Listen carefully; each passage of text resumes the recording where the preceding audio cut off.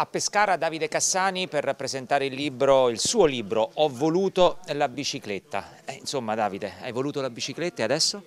E adesso pedalo, anzi pedalo ancora perché alla fine la bicicletta, eh, il ciclismo è stata una passione che mi è nata quando ero un bambino, quando avevo sette anni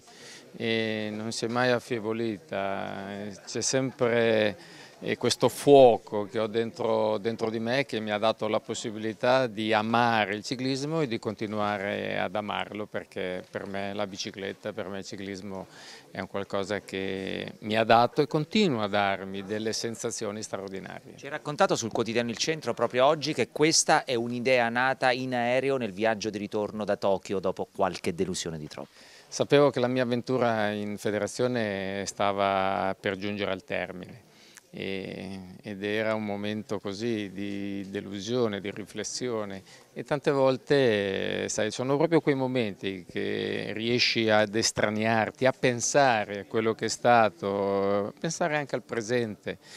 e dal momento che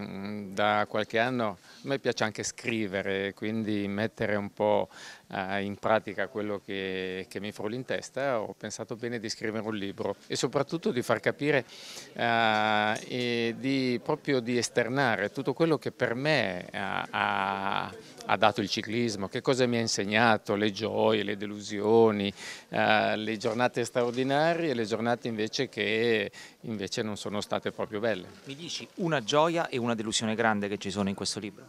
La gioia, beh, il giorno che sono passato professionista, perché quel giorno si è realizzato il sogno della mia vita, della mia infanzia.